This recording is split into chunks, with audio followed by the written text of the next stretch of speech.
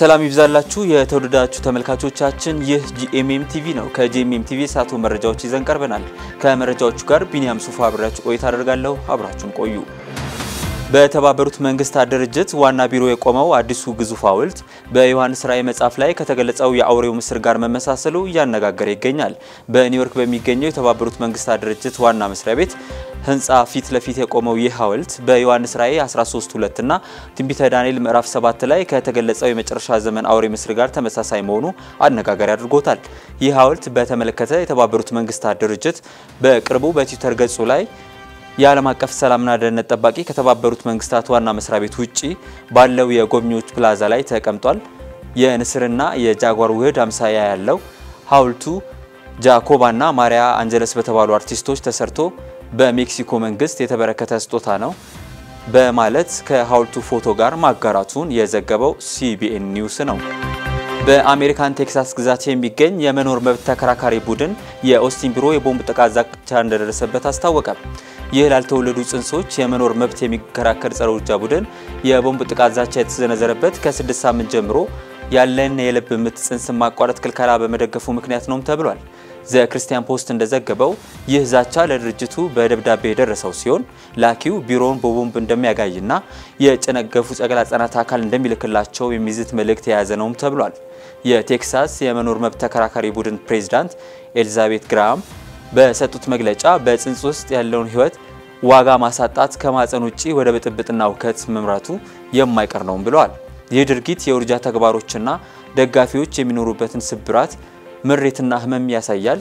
እኛም ለእነዚህ ሰዎች በክርስቶስ የሆነ ፈውስ እንዲሆንላቸው እንጸልይላቸዋለን በማለት ተናግረዋል ሲል የዘገበው ዘ ክርስቲያን ፖስት ነው። የተወደዳችሁ ተመልካቾቻችን እየተከታተላችሁ የምትገኙት ከጂኤምኤም ቲቪ የሚተላለፈው መረጃዎቻችንን ነው። አሁንም መረጃዎቻችንን ወደ እናንተ ማድረስ እንቀጥላለን። አብራችሁን ቆዩ።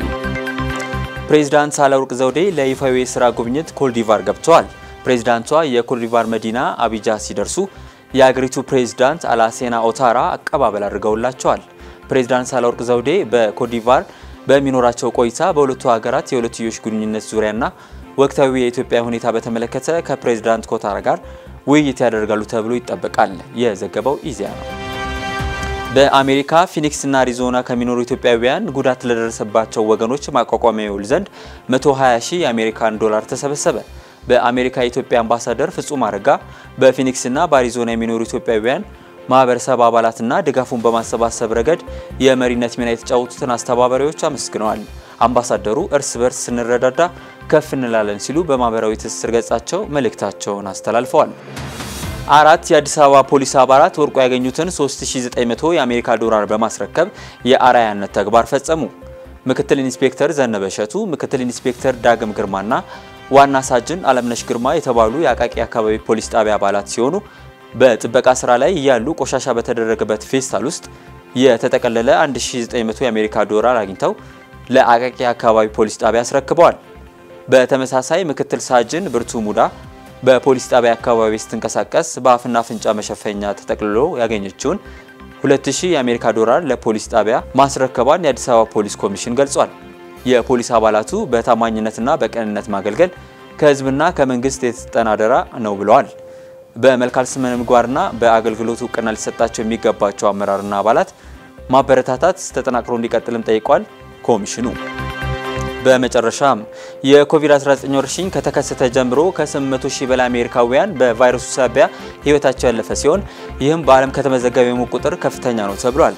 በአሜሪካ በኮቪድ-19 የተያዙ ሰዎች ቁጥርም 50 ሚሊዮን መድረሱ የተገለጸ ሲሆን አብዛኞቹ ሞቶች የተመዘገቡት ባልተከተቡና እድሜያቸው በገፉ ሰዎች መሆኑ ታውቋል። አብዛኞቹ አሜሪካውያን በወረርሽኙ ሳቢያ የሞቱት እንደ አውሮፓውያን አቆጣጠር ከ2020 ይልቅ እየተጠናቀቀ ባለው 2021 መሆኑ ተነግሯል። በአሜሪካ በድጋሚ በሚያስደነግጥ ፍጥነት የሞት ቁጥር እየጨመረ የመጣ ሲሆን የመጨረሻዎቹ 100 ሺህ ሞቶች የተመዘገቡት ባለፉት 11 ሳምንት ውስጥ ነው ተብሏል። ይህም ካለፈው ክረምት በበለጠ ከፍተኛ ጭማሪና ፍጥነት እንደታየበት ነው የተገለጸው። በጆንስ ሆፕኪንስ ብሉምበርግ የህብረተሰብ ጤና ትምህርት ዶክተር ኬሪ በህዝብ ደረጃ የበሽታ መከላከል አቅም ከፍተኛ እስከሚሆን ድረስ የምናያቸው ወረርሽኝ ማዕበሎች ይቀጥላሉ ብለዋል ሲል የዘገበው ቢቢሲ ነው። የተወደዳችሁ ተመልካቾቻችን ለዛሬ የያዝንላችሁ መረጃዎች እስካሁኖቹ ናቸው። መረጃዎቹን እኔ ቢኒያም ሱፋና ተስፋዬ ካሳሁን በጋራ በመሆን አዘጋጅተናቸዋል። ማንኛውም አይነት መንፈሳዊ ክንውኖችን የሚዲያ ሽፋን ማግኘት የምትፈልጉ አካላት screen ኣችን ላይ በሚገኘው የስልክ አድራሻችን እኛን ማግኘት የምትችሉ መሆኑን ገልጽላችኋለን። ከቀሪ የጂኤምኤም ቲቪ ፕሮግራሞች ጋር መልካም ቆይታ። ሰላም